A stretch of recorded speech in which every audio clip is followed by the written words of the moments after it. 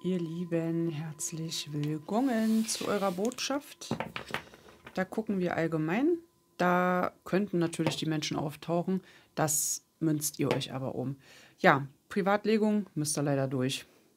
Für den September danach ist wieder Pause. Video verlinke ich links oder rechts. Ihr kriegt es nicht gebacken, ich glaube hier. Und dann ist es da, wa? Ich weiß es nicht. Äh, zwei Modelle gibt es zum Aussuchen, entweder eine halbe Stunde oder eine Stunde. Privat-Vollanalyse.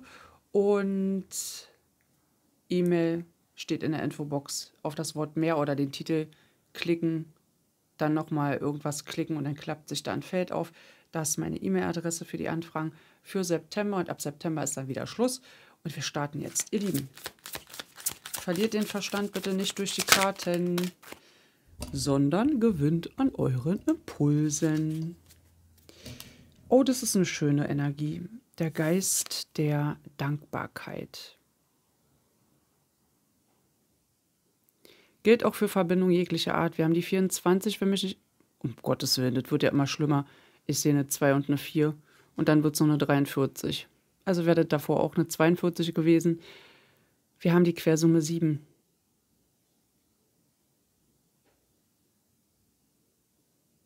Sieben? Ist der Wagen, oder? Welchen Weg hast du genommen? Der Geist der Dankbarkeit. Im Tarot ist es der Wagen. Manchmal habe ich ein bisschen Aussetzer. Welchen Weg hast du genommen? Ein Hauch von Magie. Oh, oh. Mit der 48, Quersumme 3. Da haben wir dann die Herrscherin. 12, 1 und 2 sind 3, ja. Die Herrscherin steht ja auch für ihren Weg, den Weg, den du machst. Du bist dankbar für deine Erfahrung. Positiv natürlich, aber das Negative bewahrt dich eben vor den nächsten Schritten, die in der Zukunft auf dich warten. Und ein Hauch von Magie, den erschaffst du dir selbst wieder. Der begleitet dich natürlich auf dieser Strecke. Mich verwirren jetzt gerade ein bisschen die Stimmen da draußen. Es wird magisch.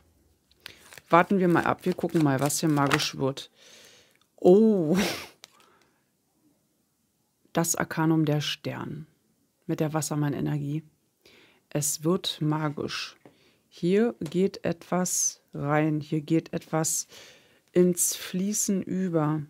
Ich denke, doch, da könnten jetzt schon Empfinden oder Gefühle anstehen, wo man etwas fühlt, ja, dass es bereit ist, auszukippen, in Anführungsstrichen, es fließen zu lassen.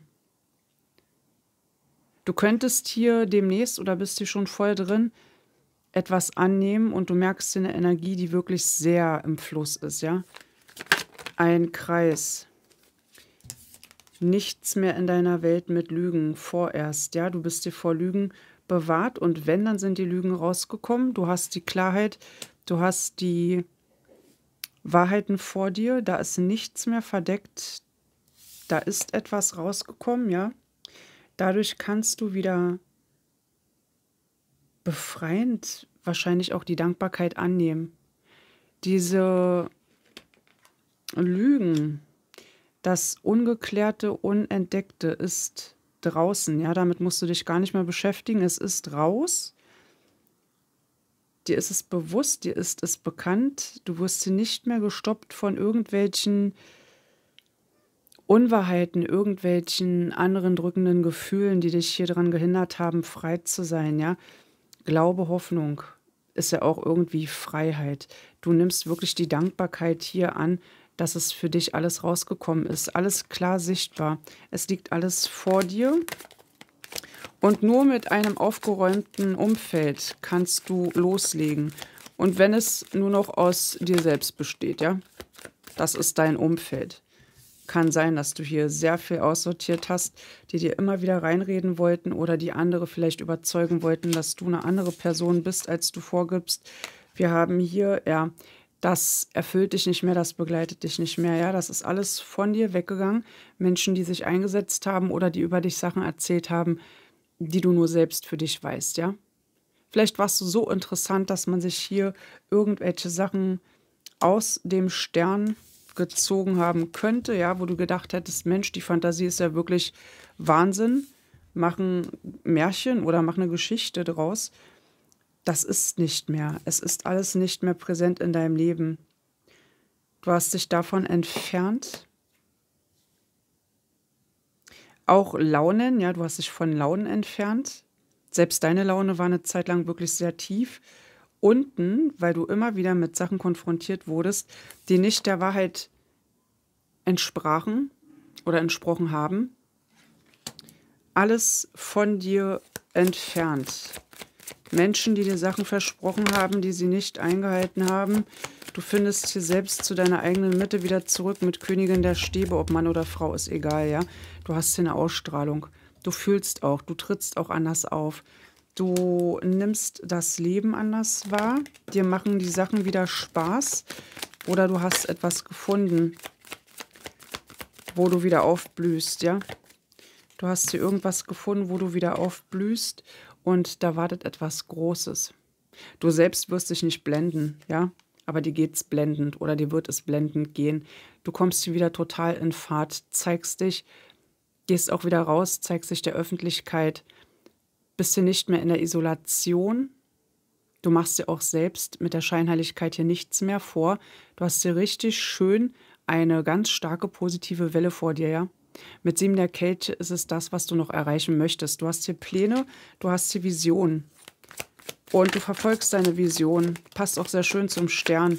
Wir haben die Welt. Du versuchst hier noch etwas anzugehen, was du vorher nicht gemacht hast. Deswegen ziehst du dich zurück, um selbst zu gucken, auf welchem Weg bist du jetzt hier wirklich richtig unterwegs, ja? Welcher Weg bringt dich genau dorthin, wo du deine Feuerenergie rauslassen kannst? Wir haben hier die Jungfrau-Energie. Du bringst Ordnung in dein Leben, definitiv. Und das wird hier ein neuer Abschnitt geben. Oder es wird einen neuen Abschnitt geben für dich. Wir gehen hier in die Welt rein. Eine Gebot ist bei den wenigsten. Ich kenne ja mittlerweile durch die Analytics eure Altersgruppen. Könnte auch für Gebot stehen, aber du bereinigst hier irgendwie ein altes Kapitel. Ja, du fängst ein neues Kapitel an und da wird auch gemacht. Du setzt etwas hier um, du setzt dich für eine Sache ein. Sehr präsent. Dich braucht man fast, ja. Da, wo du hinläufst, bist du präsent, vielleicht bist du auch in einer Art Umwandlung, im Wandlungsprozess, ja? Das kann auch sein, weil du nichts mehr mit diesen ganzen Sprüchen, Versprechungen, Lügen, Intrigen zu tun hast. Du hast eine richtig freie, super schöne Bahn. Bleibe. Du hast dich erholt. Ist ja fast wie die Fortsetzung von der großen Legung. Ich sage euch auch warum weil da warst du in einem Stand gerade aufzuräumen. Hier fängst du an. Hier wirst du wahrscheinlich erkennen, das gehört der Vergangenheit an, ja. Dieses Bodenlose, diese bodenlose Frechheit, dieses Bodenlose, was du erleben musstest, was sich oftmals wirklich auf die Knie gezwungen hat, war im Schatten, begleitet dich nicht mehr. Du hast ausgeheilt. Du hast auch den Teufelskreis gesehen und du weißt auch, du kriegst den Teufelskreis niemals weg. Aber du weißt, wie du den Teufelskreis siehst, ja selbst wenn du hier noch mal reinläufst, wirst du keine Angst mehr davor haben, wenn es schwer werden sollte, wirst du den Ausgang finden. Hier kommen alle Sachen ins Spiel wie Abhängigkeiten, Co-Abhängigkeiten, Süchte, Versuchung. Hast du gelernt in der ganzen alten Phase, wahrscheinlich ist es auch die Dankbarkeit, hättest du diese Prozesse nicht erlebt, dann würdest du heute hier nicht dastehen und sagen, ich erkenne mittlerweile, was gefährlich werden könnte. Wir haben hier eine Steinbock-Energie, und wir haben hier drei der, äh, zwei der Münzen, Entschuldigung. Dieser schlechte und positive Prozess, den Teufelskreis in der Vergangenheit gesehen zu haben, war wichtig für dich. Der musste dich fast schon nach unten bringen, ja? Klingt jetzt zwar ein bisschen doof. Ihr da hinter der Bildschirmscheibe werdet sagen, na Dankeschön. Aber es musste fast dazu kommen, dass du das erkennst für die Zukunft. Diese Prozesse, dieses On-Off, dieses Pro-Contra, brauchtest du, um hier rauszukommen, um die Teufelskreise zu sehen, ja? Um zu wissen, wo läufst du in der neuen Phase oder im neuen Kapitel nicht mehr rein. Definitiv nicht mehr mit Schwierigkeiten von anderen Menschen. Vielleicht musstest du selbst auch erstmal bei dir Ordnung schaffen, kann auch sein. Ja, ist wie ein Anschluss an die letzte Legung heute. Denn die Ruhe, die du in der großen Legung nicht gefunden hast, die kommt hier rein. Du brauchtest die Ruhe, ja? Andere Menschen haben gestört. Du brauchtest in diesem Prozess die Ruhe und du musstest schon fast andere Menschen von dir fernhalten, ja? Es gab wahrscheinlich eine Phase, da wolltest du Ruhe und auf einmal sind alle gekommen, alle wollten was von dir. Alle Energien sind auf dich eingeprasselt in jeglicher Art und Form. Du hast aber hier wirklich Abstand genommen und gesagt, ich brauche meine Ruhe. Ich habe keine Lust mehr auf Diskussion. Ich möchte nicht mehr kämpfen. Du hast dich hier von sehr vielen Teilen verabschiedet, ähm, zurückgezogen. Ja, gerade auch mit dem Eremiten der Jungfrau-Energie, die war ja auch noch da. Du brauchtest diese Ruhe. Blockaden, das, mal, das ist ja wirklich die Fortsetzung. Blockaden sind weg. Du hast sie alle aufgearbeitet, ja? Und hier geht's rein. Du bist ja als König, äh, Königin der Stabenergie reingekommen. Hier geht's rein. Hier könnten kleine Pläne stattfinden oder Weiterpläne, Weiterentwicklungen, um etwas größer zu machen, um neue Wege zu gehen. Hier könnten Botschaften, Kontakte noch kommen, mit denen du vielleicht jetzt auch super gut umgehen kannst, mit denen du vorher noch nicht gut umgehen konntest. Hier kommt wieder die Stabenergie, du kriegst deinen Stolz, deine Würde wieder zurück, ja, die Dankbarkeit zu allem. Du weißt, worauf es ankommt. Du bleibst aber nicht hängen in irgendeiner gestörten Kommunikation, sondern das sind Kommunikationen jeglicher Art, egal von wem sie kommen, mit denen du weiterkommst, ja? Ich glaube, du nimmst es hier schon viel lockerer, ja, weil du die Wahrheit kennst. Und wir sind ja reingestartet oder haben gestartet mit diesen Lügen. Die sind nicht mehr da. Hier ist irgendwas auf den Tisch gekommen. Für dich ist es einfach klar sichtbar. Du hast nichts mehr zu verlieren. Ja, du fängst dein Leben sehr geordnet und sehr ehrlich und strukturiert für dich selbst an. Zum ersten Mal siehst du alles klar, sagen wir es mal so. Die Klarheit ist im Vordergrund. Zum ersten Mal siehst du hier alles klar. Niemand manipuliert dich hier mehr beziehungsweise gibst du hier keine Chance mehr, dass man dich hier irgendwie einwickeln könnte. Du hast dich für einen Prozess für dich selbst entschieden. Du entscheidest hier über eine Sache selbst, ohne Menschen zu fragen. Und das ist schon fast wie so ein Schritt, der Mut kostet, ja? Das ist ein Schritt, der Mut kostet. Aber du denkst dir, nein, ich ziehe das durch. Aber du denkst dir, nein, ich ziehe das durch mit der Widderenergie ich komme, ich bin da, ich bin Gesetz. Vielleicht hast du dich hier gewehrt, vielleicht hast du irgendwas kundgetan, vielleicht so genau, wie du es noch nie genau ausgesprochen hast. Man kann dich nicht falsch verstehen, ja? Du bist dein eigenes Gesetz geworden, was du vielleicht in der Vergangenheit sehr oft vergessen hast. Du hast auch ein Anrecht, du hast auch deine Rechte, ja? Und das hältst du wirklich Menschen vor oder hast die Chance gehabt, Menschen es fortzuhalten, aber das ist nicht mehr das, womit du dich rumschlägst. Du bist dein eigener Herr, deine eigene Frau. Du gehst hier komplett auf Konfrontation, aber in ein positives Kapitel. Du überschreibst irgendwie wirklich mit allem, was dir hier in der Macht steht und was zukommt oder auf dich zukommt, überschreibst du hier mit voller Macht. Ab diesem Zeitpunkt wird nur noch gehandelt. Ab diesem Zeitpunkt braucht man deine Energie, deine Entwicklung. Ja, hier entwickelt sich etwas sehr stark in diese Richtung, dass man dich ernst nimmt. Wir haben hier Neun der Schwerter, hat auch bei dir keinen Platz mehr. Alles, was hier von außen reingekommen ist, liegt hier in der Schwerterkraft, Ritter der Schwerter und König der Schwerter. All das belastet dich einfach nicht mehr. Ja, das hast du frei wegbekommen. Das ist nicht mehr in deinem Kopf, das wird nicht mehr in deinem Kopf sein. Du wirst hier entschlossen rangehen, eine Entwicklung zu starten, die egal wie sie aussieht, ja, ob Pläne oder für dich selbst. Und hier haben wir noch ein schönes Endergebnis. Hier fruchtet etwas, hier kommt etwas ins Gedeihen in Sachen Liebe. Oder ankommen mit dir selbst, Selbstliebe, aufräumen, auf, arbeiten, ja? Hier kommt die Chance, ihr kriegt die Karte nicht hoch von dem restlichen Stapel. Ey, so ein Kack. Mann, ey, sag mal, ich muss mir mal kurz eine Bahn hier frei machen.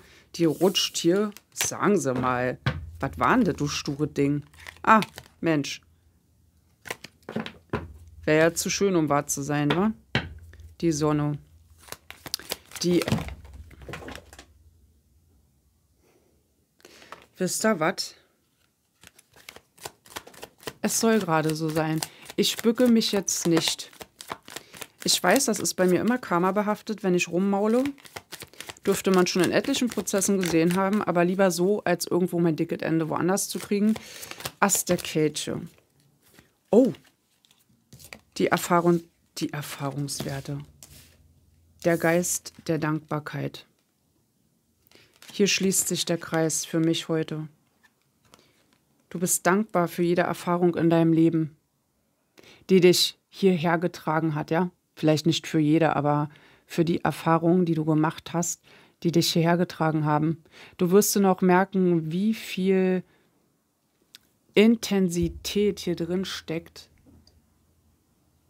worauf du zuläufst, welche Chance sich hier bietet. In Sachen Selbstliebe, in Stärke, du hast hier mal wieder endlich an dich geglaubt.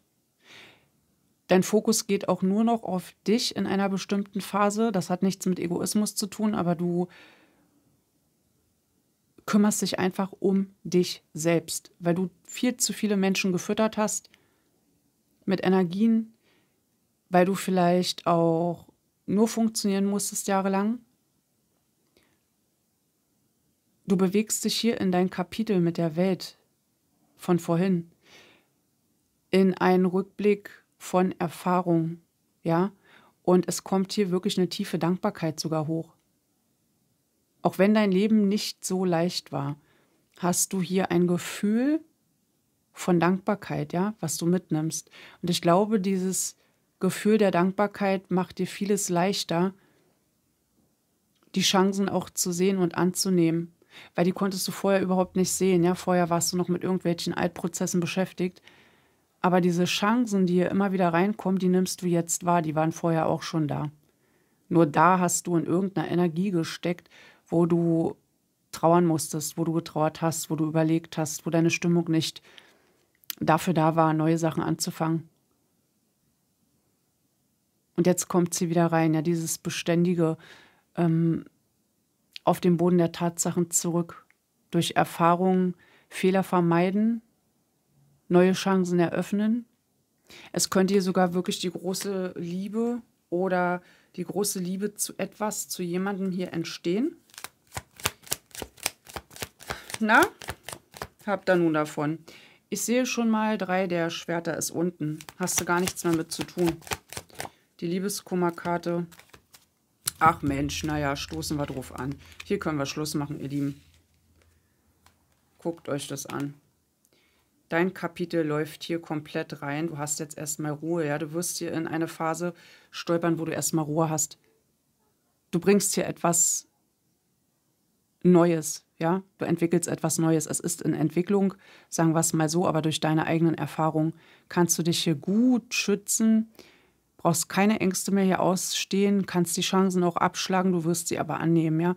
Hier entwickelt sich eine, eine ganz große Selbstliebe, auch eine Zufriedenheit, eine innere Zufriedenheit zu dir selbst, weil du verstehst, wie viel Glück du vielleicht sogar am Unglück gehabt hast, ja.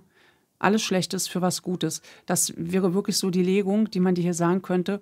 Und in voller Dankbarkeit und Demut oder, oder Ehrfurcht, sagen wir mal lieber Ehrfurcht, vor allem bist du hier mit neuner Käthe komplett in deiner Selbstliebe angekommen. Und das strahlst du auch aus, das wirst du ausstrahlen, das werden die Leute merken. Du wirst auch angenommen werden, du wirst wahrscheinlich auch wieder neue Kreise aufbauen oder entwickeln. Weil das, was man ausstrahlt, zieht man an, ja. Neun der Kälte. Ich bin jetzt mal gespannt. Bleibt da nicht mehr viel übrig? Die Hälfte oder... es, ist, es ist eine beschränkte Auswahl, aber es sollte so sein. Es gibt für mich keinen Zufall, es fällt so zu, wie es fallen soll. Naja, hauste rein. So, Löwenenergie. Also wir hatten sehr viel Arkana hier drin. Hier haben wir das Arkanum, die Stärke. mit astrologisch dem Löwen. Also du bist hier momentan gesichert, bist auch nicht einzuholen. Durch irgendeinen Niederschlag, glaube ich, ging es erst recht los, ja. Du äh, schredderst hier richtig los. Also hier geht's rein in eine starke Verbindung, in eine starke Chance, die du nutzen darfst, möchtest, kannst, aus Dankbarkeit. Deine Stärke ist hier wieder völlig da. Du zeigst dich. Du hast die Ruhe benutzt oder genutzt, um selbst aktiv zu werden. Ja, du brauchtest Stärke. Du hast deinen Akku vollgetankt. Geht ja komplett hier rein. Also Menschen, die schwächer sind als du, die wirst du nicht in dein Leben reinlassen, nicht aus äh, Arroganz oder wie auch immer, aber du spürst, wo die Menschen sind, die dich ergänzen, ja, die du brauchst, damit sie dich in deinem Prozess nicht stören. Du fokussierst dich hier wirklich auf Stärke, Selbstliebe, Erfahrungswerte und die Chance. Du wirst keine Prozesse mehr so schnell anfassen, die für dich na mal sehen, ja, oder umsonst sein könnten. Umsonst ist nie was, aber du fokussierst dich schon wirklich auf dieses, was kann daraus entstehen. Und genau diese hohen Aufgaben fässt du an, weil du weißt, wie viel Potenzial hier hintersteckt, ja, was Großartiges, was lange halten kann, was neu in Präsentation geht, was mit der Liebe zu tun haben kann. Es könnten hier Entschuldigung, äh, Entschuldigung, Entschuldigungen reinkommen, Aussprachen jeglicher Art, dass diese neue Chance der Verbindung hier auch wieder ähm, Potenzial hat, ja. Man sieht, ich sag dir ganz ehrlich, man wird dich auch anders sehen, ja, man wird auch dich anders wahrnehmen. Und ich glaube auch, eine Bewunderung hängt dir hinterher für deinen Mut. Das wirst du eventuell vielleicht gar nicht so mitkriegen, aber man bewundert dich für deine Stärke und für deinen Mut diesen ganzen Weg hier gegangen zu sein und immer noch zu stehen, ohne auf andere zu achten, was man hier von dir denkt, hält. Man bewundert dich für deine Stärke. Ich glaube auch, hier kommt so ein inneres Kind-Ding wieder zurück. Man hat dich als Kind schon für sehr stark gehalten, ja? Hast du als Kind vielleicht nicht so wahrgenommen. Das könnten auch so innere Kind-Themen sein. Stur, der Wille war da und trotzdem hast du dich als Kind brechen lassen. Das kommt alles wieder zurück, ja? Das schließt so den Kreis. Du hast wieder zu deinem gesunden, positiven inneren Kind gefunden, aber auch durch Erfahrungswerte ja, vom Hierophanten. Ein Hauch von Magie. Ja, es war wirklich sehr, sehr magisch, ja. Also du hattest ja so wunderschöne positive Karten hier gerade bei, dass man hier überhaupt nicht. Also, also wirklich auch die Schattenkarten waren wirklich komplett wie im Anschluss von der großen Legung. Das war parallel laufend, ja dieses Ende von der Großen. Wie geht's mit dir weiter? Statt bei der Großen, was empfindest du und was fühlst du? Wunderschön, ihr Lieben. Ja, jetzt räume ich mal ein bisschen auf. Ablehnung, drei der Kelche liegt da unten. Drei der Schwerter, das sehe ich alles. Alles Vergangenheit, ihr Lieben. Bleibt gesund, habt einen super schönen Samstag. Vor allen Dingen, wie gesagt, Privatlegung verlinke ich euch hier nochmal oder war schon vorne. Ich sage es jetzt jeden Tag wieder an, weil wir wissen ja, nicht jeder guckt die Videos und dann kommen wieder Anfragen von hinten rein. Mir ist es egal, ich bin eh öffentlich auf YouTube, ja. Aber wenn jemand möchte, und es hatten ja wieder viele angefragt, gibt es für September die Möglichkeit. Mehr nicht. Oder auch nicht weniger. ich bin da. Tschüss, ihr Lieben. Macht's gut.